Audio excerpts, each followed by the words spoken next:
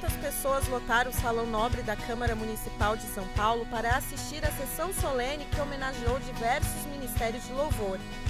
As cadeiras do espaço não comportaram os convidados que vieram prestigiar nomes que dão voz às canções conhecidas nas rádios e nas igrejas. Cantores como Tom Carfe, Daniela Araújo, Robson Monteiro, Mara Maravilha, Gisson Campos, Priscila Alcântara, entre outros.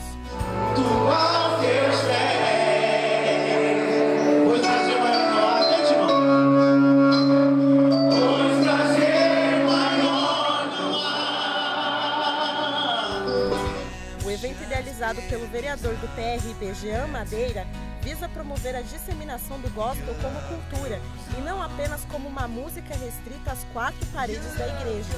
Mas eu tenho certeza que nós vamos avançar, principalmente com a lei, para instituir o gospel como cultura. Chega dessa discriminação religiosa. Quem curte o gospel curte a cultura da paz é melhor cultura. Uma cultura sem apologia às drogas, ao sexo, sem ofensa à mulher. Não, é uma, é uma cultura que traz um refrigério, traz, traz um, um calor humano, traz, traz paz para o nosso coração, amor, motivação.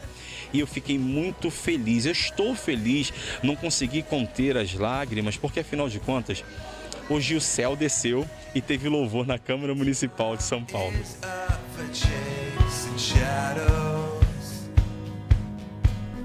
A importância do gospel ser reconhecido como manifestação cultural foi defendida pelos artistas que foram homenageados. verdade, quando a gente reconhece alguma coisa que é feita para Deus, a gente está adorando a Deus também. Então é importante, até porque todos nós, como cristãos, nós somos também cidadãos, né? E essa iniciativa, até mesmo é, com tanto afinco, sendo defendida pelo nosso vereador Jean Madeira, eu, eu fico agradecida como profissional. Porque a música, a música é a música. A música não é uma referência para uma religião. Música é cultura.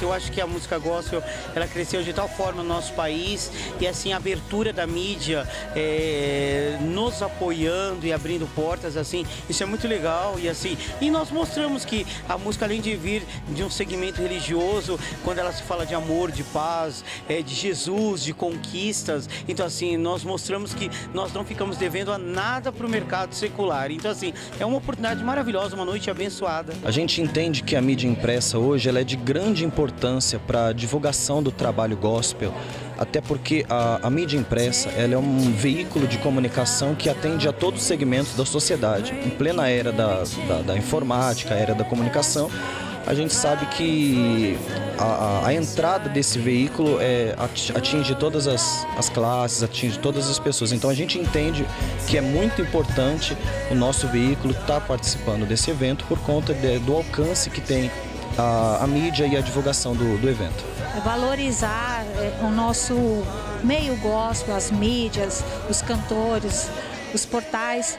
É, é assim, a gente fica muito lisonjeado porque a gente hoje vê que o gospel ganhou espaço. Né? E esse espaço tem que ser divulgado, tem que ser feito. Depois a, a nossa própria mídia gospel vai colocar isso aí na, na, nas redes sociais e isso vai mostrar para o mundo que nós também sabemos fazer. É um marco, né? Na história da igreja brasileira, a gente tem uma cerimônia como essa na Câmara dos Vereadores de São Paulo, homenageando os ministros de louvores, né? A Bíblia é cheia de louvores, né? São 150 salmos, 150 louvores, 150 hinos, 150 composições que nos traz força, que nos encoraja, né? E a música, ela, dependendo dela, vindo de Deus, claro, ela coloca a gente para cima, né? Ela nos anima, ela nos motiva.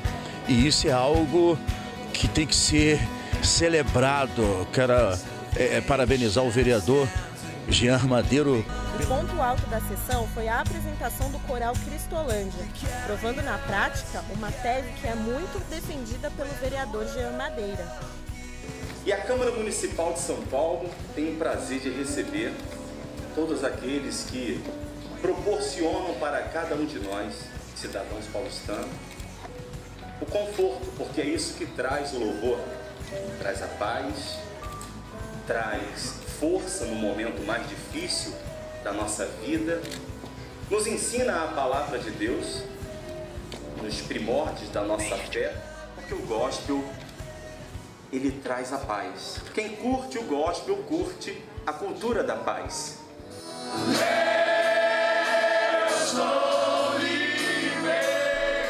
Diante das vozes dos meninos que por meio do louvor se libertaram das drogas, todos os presentes se emocionaram.